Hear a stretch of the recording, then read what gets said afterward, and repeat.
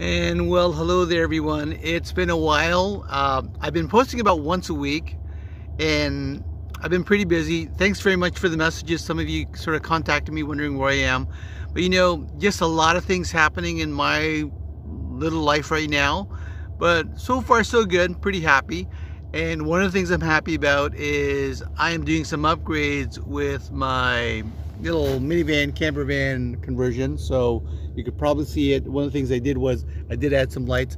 Now I don't think I posted the video for it yet on how I added these lights uh, like for example this one here but it added a it added it added lights. It added it, it a nice vibe to it. So and also just more light. I'm able to control it and maybe I'll go into that as well. But the next video you're gonna see is a um, it's like a baking video. Very simple. I, I went to a store. I picked up some uh, quiche and I used a, uh, a casserole. That's what it's called. I've been calling it this pot but it's basically a casserole and I turned it into sort of like an, an oven like a I think the term is a Dutch oven. I'm still trying to get my terminology because what I'm finding with van life with doing this kind of stuff is there's certain things that you could use in that that would be like a, an equivalent to what you wanted to do. In this case here I did have this Coleman oven but the setup of it was a bit too much. I think it's great. I, I still have it. But if, if I'm camping it's a good it's a good choice. But if I'm just sort of doing what I'm doing right now where I'm sort of like stealthily in a van then the solution that I'm about to show you next is probably the best one. So have a look at it. At that time, uh, I was in the parking lot. Uh, I'd, I'd, been there for two hours. I did mention I was there for about two hours. It didn't take two hours to cook, but I was there and it was still quite winter. Now it's turning into spring. It's quite nice and I'm looking forward to some really good weather.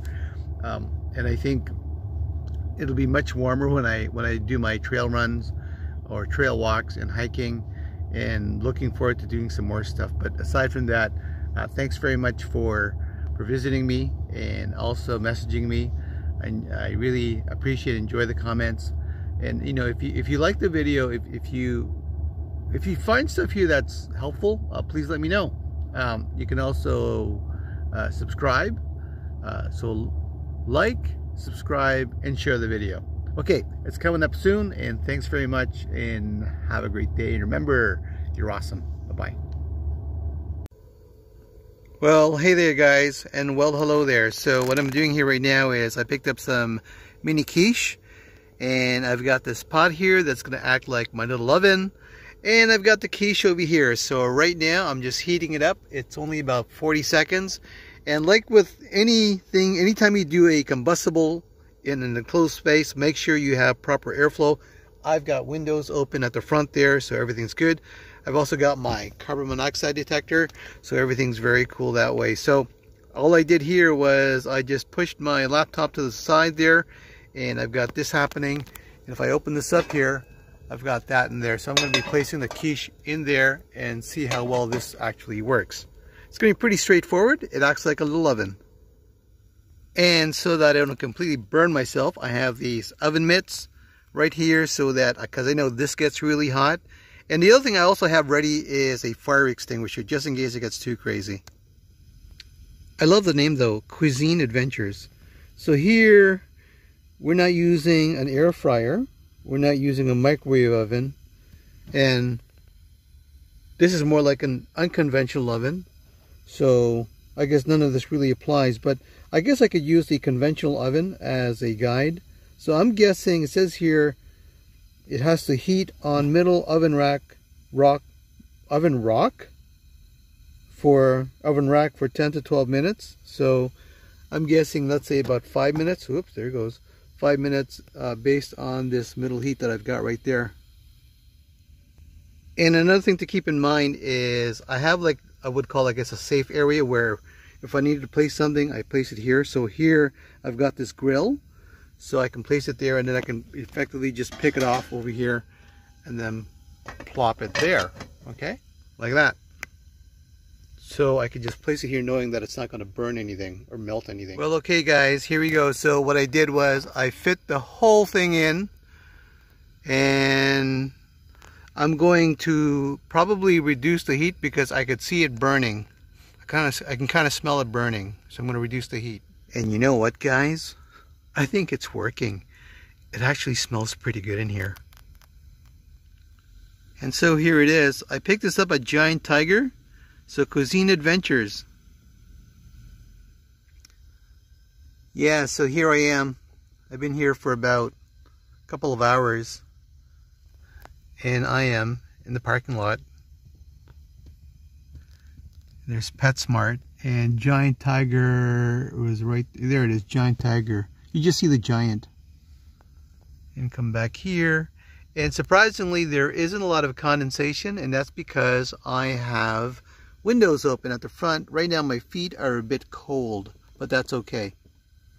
Now, seeing that it's already pretty like pre-cooked and I'm just heating it up, I'm going to change the the heat setting here so that it's a little lower and it'll just be a low heat low heat. That way it doesn't burn it. That's what my dad always says low heat cook in low heat as in low key. Let's take a look here. Oh man looks pretty good. And this uh, handle here is very hot. Gonna have to put the gloves on.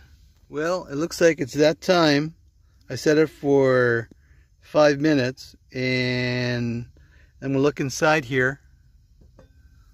Ooh, it's beautiful. So I've got it running still and I took a couple out and you know it smells really good. I'm gonna try it now. Okay, there we go. Boy, okay. So I'm gonna try right now and I just use my hands. Okay, it was five minutes. I think it needs about 10 minutes because right now it's still cold. It tastes good.